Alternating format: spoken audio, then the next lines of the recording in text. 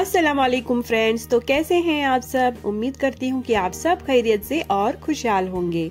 Friends, मेरे channel को ढेर सारा प्यार और सपोर्ट देने के लिए आप सबका बहुत बहुत शुक्रिया। अगर आप पनीर बनाने की सोच रहे हैं तो इस नवाबी पनीर ग्रेवी को ज़रूर ट्राई कीजिएगा। तो चलिए, बनाते हैं नवाबी पनीर। यहाँ मैंने 200 ग्राम पनीर लिया है। सबसे पहले पनीर को मैरिनेट कर लेंगे। इसमें नमक डालेंगे आधा चम्मच।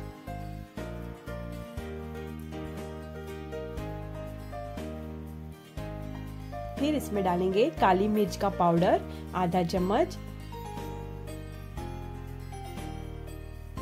और ये अदरक लहसुन का पेस्ट एक चम्मच। और ऊपर से थोड़ा आधा चम्मच जितना तेल डालेंगे। और इन सारी चीज़ों को पनीर में अच्छे से मिक्स करेंगे। 10 मिनट के लिए इसे मैरिनेट होने के लिए रख लेते हैं और फिर बटर में हल्का सा इसे रोस्ट कर लेंगे।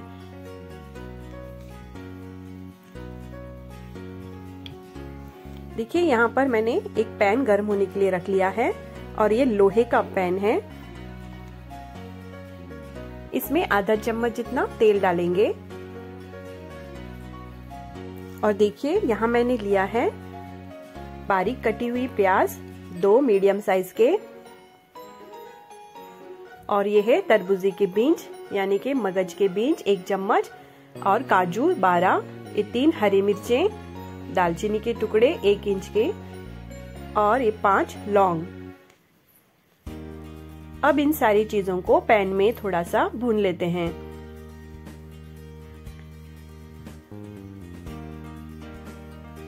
गैस की फ्लेम मीडियम है।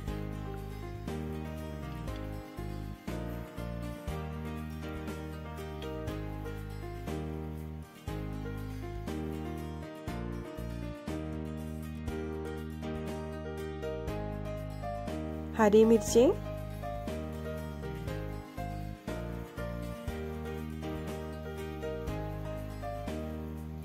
ये है काजू, तरबूजे के बीज, दालचीनी के टुकड़े और लौंग। बस प्याज को बिल्कुल लाल नहीं करना है, बस हल्का सा इसे भून लेंगे।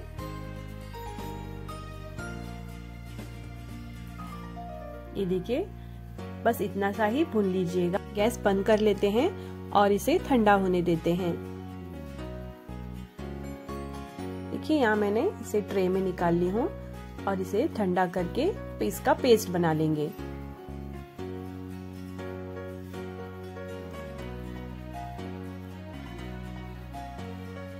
अब इसे जार में डालकर पीस लेते हैं। मेरे चैनल को लाइक, शेयर और सब्सक्राइब करना ना भूलिएगा, जो कि बिल्कुल फ्री होता है।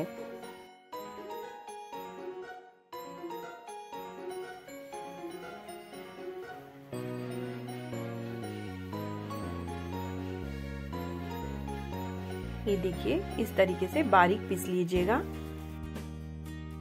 वही पैन को मैंने फिर से गर्म कर लिया है और गैस की फ्लेम स्लो रखी है। तो इसमें और आधा चम्मच तेल डालेंगे। और इसी में मैंने एक चम्मच बटर डाला है। और ये तीन तेज पत्ते डाली हूँ। और ये है कुटी हुई इलायची, चार। दालचीनी का टुकड़ा एक इंच का। अब इसे हल्का सा भून लेते हैं। फिर इसमें डालेंगे पिसा हुआ पेस्ट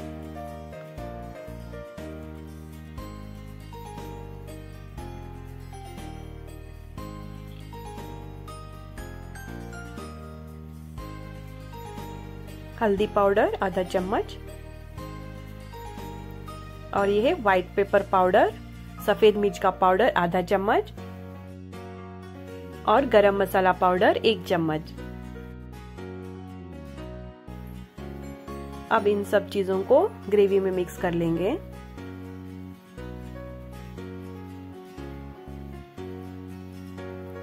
धीमी आँच पर ही इस ग्रेवी को बनाएँगे। देखिए अब इसमें एक कप दही डालेंगे और इसे अच्छे से मिक्स कर लेंगे। वीडियो को स्किप मत कीजिएगा वीडियो को पूरा ज़रूर देखिएगा। इसमें और भी चीज़ें डलने बाकी है।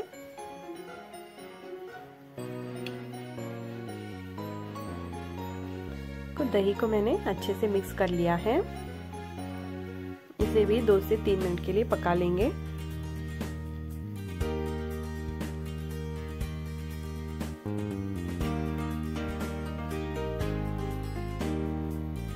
इसमें नमक डालेंगे टेस्ट के हिसाब से।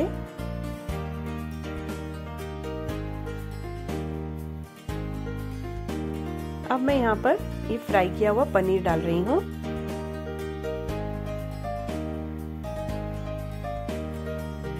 इसे भी ग्रेवी में अच्छे से मिला लेते हैं।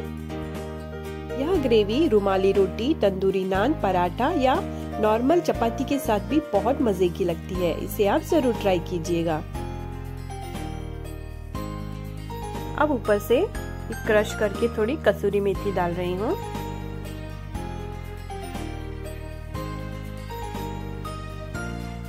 देखिए कितनी अच्छी ग्रेवी लग रही है ये।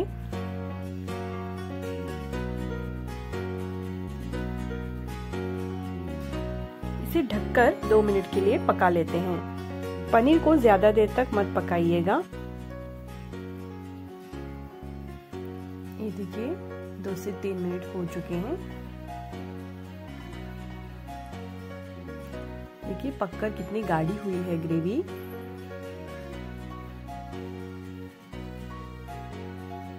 अब इसमें कुछ और चीज़ें डालेंगे। ये है मलाई। दूध की जमी हुई मलाई मैंने फ्रिज में रखी थी, इसलिए थोड़ी घट है। और ये डालेंगे एक या दो चम्मच डाल लीजिएगा।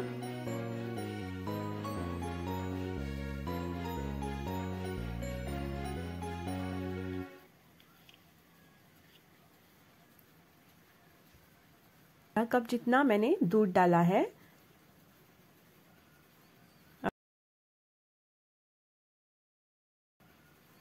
और इसे भी अच्छे से एक बार ग्रेवी में मिक्स कर लेते हैं।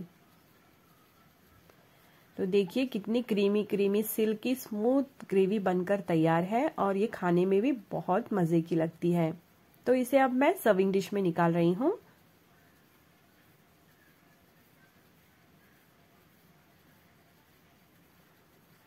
तो ये देखिए। गर्मा गर्म तंदूरी नान के साथ में इसे मैंने सर्व किया है और ऊपर से कटा हुआ हरा धनिया, कसूरी मेथी और थोड़ा बटर भी डाला है। तो आपको यह रेसिपी कैसी लगी ज़रूर कमेंट कीजिएगा। मेरे चैनल को लाइक, शेयर और सब्सक्राइब भी करना ना भूलिएगा। तो फ्रेंड्स, मिलते हैं ऐसी ही मज़ेदार रेसिपी के साथ अगले वीडियो में। अपना ख्याल रखिएगा। अल्लाह हाफिज।